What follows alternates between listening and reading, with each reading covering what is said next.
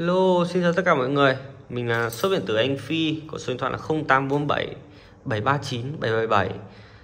Bên mình là chuyên cắt dòng camera siêu nhỏ, máy định vị ghi âm, máy nghe lén siêu nhỏ nha các bạn. Các bạn nào mà có nhu cầu muốn độ chế camera thì các bạn có thể là liên hệ trực tiếp qua bên mình nhé.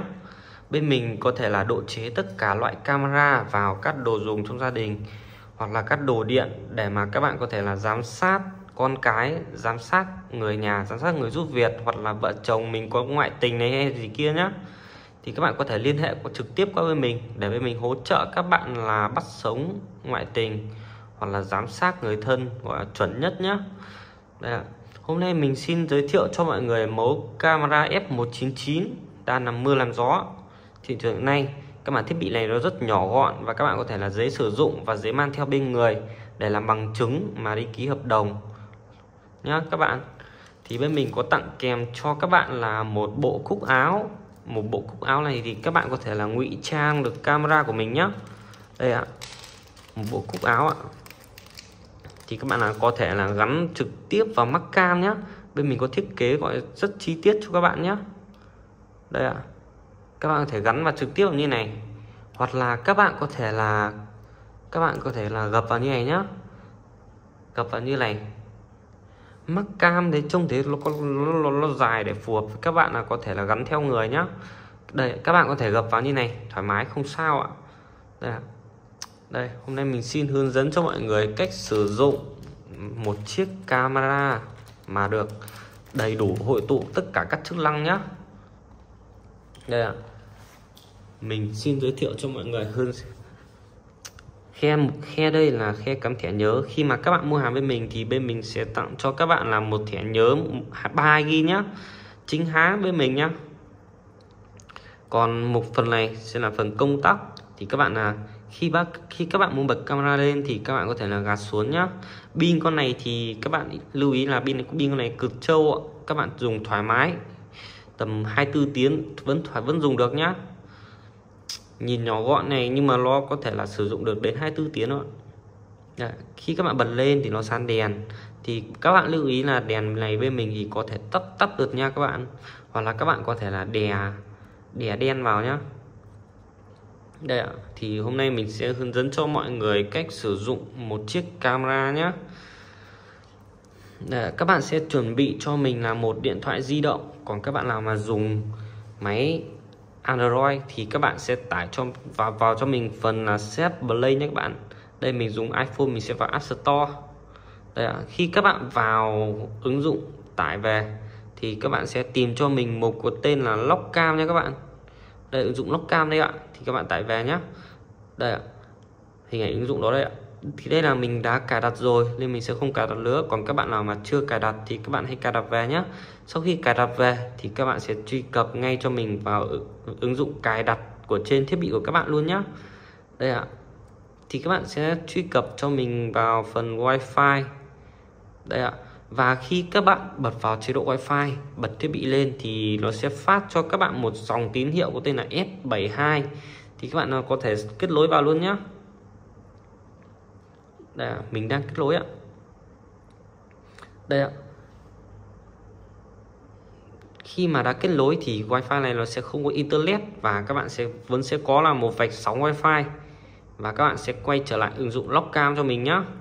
Đây ạ mình đã quay trở lại lại phần lockcam thì nó sẽ hiện là một mục có tên là device online này ạ.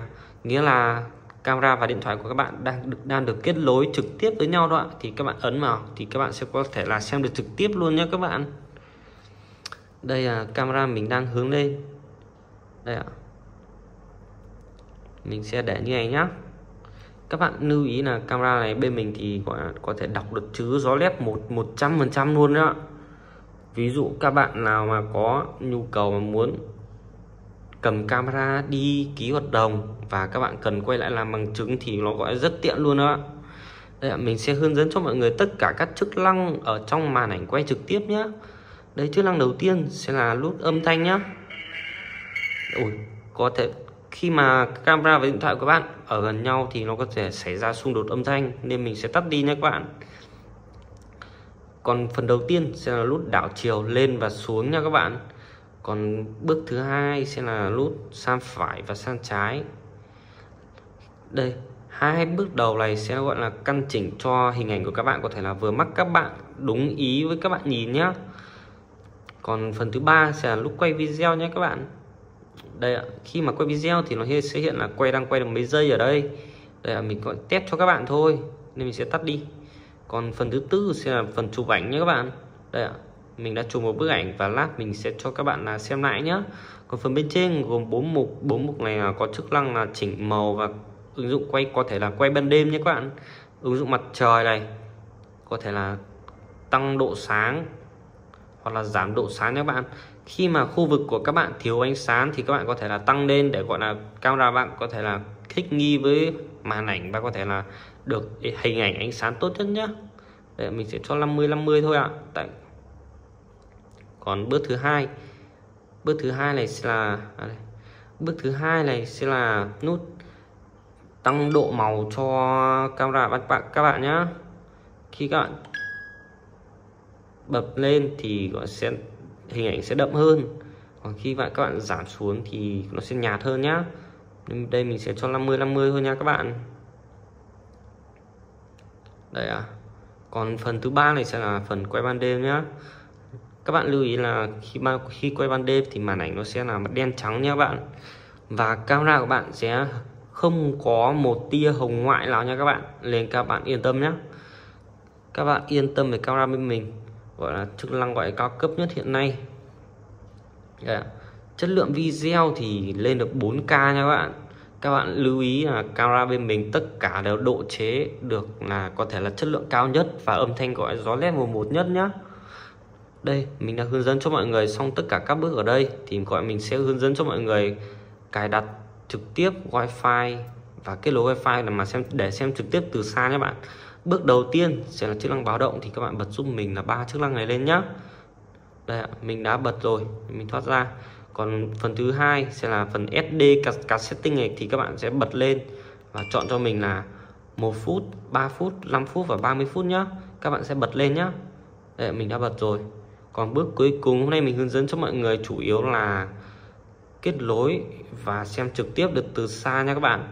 Đây, thì các bạn chọn mục wifi setting này và đây, wifi nhà mình đây ạ. Thì các bạn nhập wifi nhà bạn và các bạn nhập mật khẩu vào thì các bạn là từ lần sau, các bạn sẽ không phải là nhập lại tất cả như này nữa và các bạn có thể là mở lên xem được trực tiếp luôn nhá.